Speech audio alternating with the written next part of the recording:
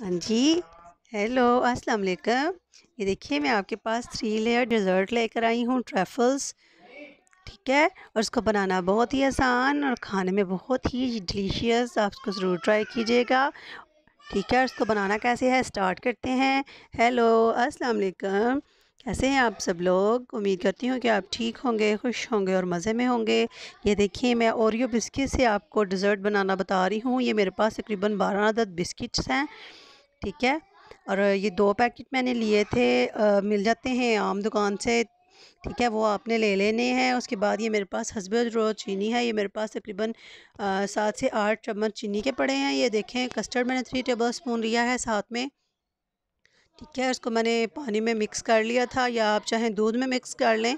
उसके बाद यही टेबल स्पून मेरे पास कोको पाउडर है। ठीक है ये वाला चम्मच थ्री चम्मच हैं, तीन चम्मच हैं कोको पाउडर के और कॉर्नफ्लोर भी यही चम्मच, तीन चम्मच कॉर्नफ्लोर्स के हैं। उसके बाद ये दूध मैंने रखा हुआ है, तकरीबन हाफ़ लीटर ये दूध है और हाफ़ लीटर मैंने बॉयल करने के लिए रखा हुआ है क्योंकि एक में हमने ठंडा यूज़ करना है हाफ़ लीटर और हाफ़ लीटर हमें बॉयल गर्म दूध चाहिए और इसमें मैं बिस्किट्स को मैश कर लूँगी मैं। ये देखें दूध को मैंने बॉयल करके रख लिया था। अभी जस्ट इसमें मैं मिक्स किया हुआ कस्टर्ड डालूँगी मैं। ठीक है, और अच्छे से हमने इसको मिक्स कर लेना है। तकरीबन हमने मीडियम आँच रखी हुई है, आँच ज़्यादा खाई नहीं करनी, क्योंकि कस्टर्ड की हमने पकाई करनी है बिल्कुल लो से मीडियम फ्लेम पे। ठीक है, ये देखें, साथ ही मैं इसमें मिक्सचर हलाना शुरू कर लूँगी ताकि हमारा ये जो बैटर ठीक हो जाता है, नीचे ना लगे, बर्तन के साथ ना चिपके। ठीक है? अच्छे से हमने इसको मिक्स करने के बाद साथ ही मैं इसमें डालूँगी चीनी। ये मैंने तकरीबन सात से आठ चम्मच रखे थे, हाफ़ मैं इसमें यूज़ करूँगी और हाफ़ मैं आपको बाद में आगे जाके बताती हूँ कि कब यूज़ होगी। आप वीडियो को स्किप मत किया करें, पूरी वीडियो वॉच किया करें और लाइक, शेयर और सब्सक्राइब करना भी मत भूला करें। ठीक है, सब्सक्राइब करने से आपको मेरे आने वाली हर नई वीडियो टाइम से मिल जाएगी। ठीक है, नोटिफिकेशन आपको मिल जाएगा कि वीडियो आ चुकी है family channel nine one three की। ये देखिए सर्विंग ग्लास ले लें आप। सबसे पहले मैं आपको इसकी फ़र्स्ट लेयर लगाना बताऊँगी। ठीक है वो चीज़ें मैं साइड पे कर रही हूँ। ठीक है इसके मैं नीचे आ, नीचे बिल्कुल आ, एंड पे मैं इसके लगाऊँगी बिस्किट्स बिस्किट्स फिल कर लूँगी। तकरीबन देखें मैंने सारे बिस्किट को जो मैश करके रख लिया वैसे इसमें से थोड़ा सा मैं बचा लूँगी। ये देखें और इसको हमने बिल्कुल, हल्का हल्का सा कुछ चीज़ लेकर ऐसी की जिसके साथ ये हमारी लेयर नीचे हमने दबानी है। ठीक है, वो मैं आपको बताती हूँ। देखें ऐसे फिल कर लेंगे हम। और आप इसकी जगह इसकी जगह आप कोई और भी बिस्किट यूज़ कर सकते हैं, लेकिन आप इसके साथ ट्राई करेंगे तो बहुत ही ये यमी और डिलीशियस बनकर रेडी होगा डिज़र्ट। ठीक है? ये देखें। और आपके बच्चे भी बहुत खुश होकर खाएँगे ये। और अगर आप चाहते हैं कि मैं ओरियो बिस्किट के साथ आपको और मज़ीद रेसिपी आपके साथ शेयर करूँ, आप मुझे कमेंट्स करके लाजमी बताइएगा और मैं इंशाल्लाह आपको बनाना सिखाऊँगी और बिल्कुल इजी तरीके से, ठीक है? ये देखें मैंने इसे प्रेस कर लिया है।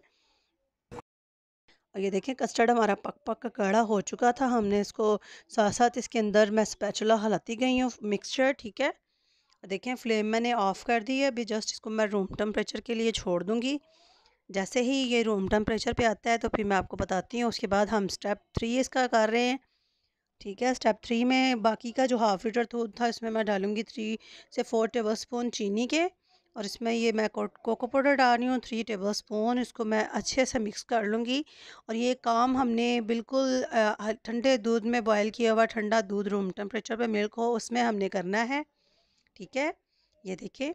और फ्लेम के ऊपर रख कर नहीं करना, हमने जस्ट इसको पहले से ही मिक्स कर लेना है ताकि इसके अंदर जो गुठलियाँ वगैरह वो ख़त्म हो जाएँ। ठीक है? ये देखें, अच्छे से हमने इसको स्मूथली मिक्स कर लेना है। इसके अंदर गुठली ना रहे। ठीक है? बहुत नाइस ये और यमी डिलीशियस सा ये बनकर रेडी होगा डिज़र्ट। ये देखें। देखें जी। और आपको आपको ये बनाओगे तो आपको बहुत ही मज़ा आने वाला है और सबसे बड़ी बात ये जब आप इसको लेयर्स में बनाएँगे तो देखने वाला भी खुश और खाने वाला और खुश। इसको बहुत ही मज़ा आएगा, बहुत इंजॉय करेगा। देखें कॉर्नफ्लावर भी मैंने मिल्क में थोड़ा सा पानी लेकर या दूध लेकर उसमें मिक्स कर लें आप पानी की तो खैर ज़रूरत नहीं थोड़ा सा दूध लिया, उसमें जस्ट कॉर्नफ्लावर मिक्स कर लिया और इसमें ऐड कर लिया। आप इसको ड्राई पाउडर की फॉर्म में भी डाल सकते थे, लेकिन मैंने ऐसे डाल लिया, आप जैसे मर्ज़ी इसको डालें और इसको स्मूथली मिक्स कर कर चूल्हे के ऊपर रख दें, ठीक है? और साथ ही ये देखें, इसकी सेकंड लेयर जा रही है, इसके अंदर कस्टर्ड की। ये ठंडा हो चुका है रूम टेम्परेचर पे है। और ठंडा करने का मकसद ये है कि हम इसकी लेयर अच्छे से लगा सकें, ठीक है? ये देखें। हमने इक्वली दोनों ग्लासेस में फिल कर लेना है।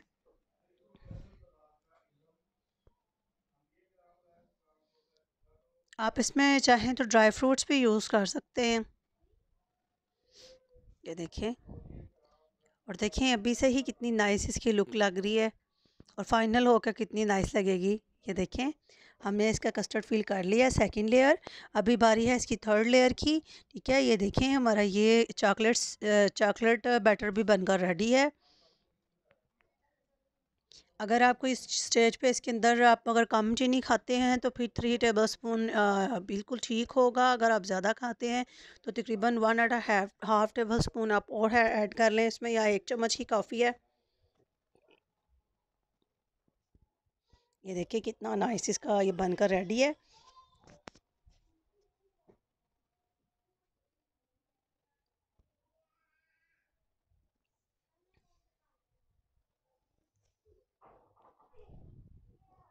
ये देखें कितना गाढ़ा हो चुका है, जितना हमें गाढ़ा चाहिए।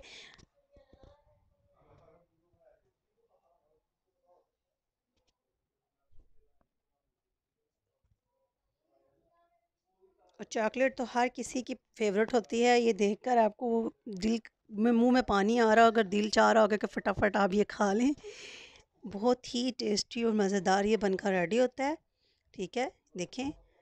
इसका फ्लेम मैं ऑफ़ करूँगी और हमारा, मुझे जितनी इसकी ये, इसकी थिकनेस चाहिए थी उतनी आ चुकी है, ठीक है? अभी मैं इसको भी रूम टेम्परेचर पे करूँगी और इसके अंदर फिल कर करके इसकी थर्ड लेयर कंप्लीट कर लूँगी, ठीक है? ये देखिए रूम टेम्परेचर पे तकरीबन मैंने 10 से 15 मिनट इसको छोड़ा था ठंडा हो चुका है, अभी इसके अंदर मैं इसको भी फिल कर लूँगी और इसको हमने फिल करने के बाद हमने तकरीबन इसको पंद्रह से बीस मिनट या आधा घंटा के लिए हमने इसको फ्रिज में सेट करने के लिए छोड़ देना है। कि ये देखें। हाँ जी, ये देखें। हाँ जी, ये देखें। इसको अच्छे से फिल कर लेंगे, आप चाहें तो इसको चम्मच से भी ऐड कर सकते हैं। दोनों ग्लासेस में। और इसकी मैंने कस्टर्ड की लेयर लगाकर इसको जब तक हमारा ये थर्ड बैटर रेडी हुआ था, हमने उसको फ्रिज में मैंने रख लिया था। फ्रीज़र में ऊपर वाले हिस्से में फ्रिज के, ठीक है? ये देखिए पोर करने के बाद इसको हमने अच्छे से साइडें इसकी साफ़ कर लेनी है, हमने अपने ग्लासेस को। और जो बैटर हमारा बचेगा उसको हमने किसी भी और खुले मुँह वाले बर्तन में ऐड कर लेना है, ठीक है? उसको स्पून लेकर ऊपर से इक्वल कर लें। और बाद में जो मैंने इसके ऊपर थोड़े बिस्किट बचाए थे, आप वो बिस्किट इसके ऊपर स्प्रिंकल कर लें। और ये देखें कितना यम्मी और नाइस ये लग रहा है, ठीक है?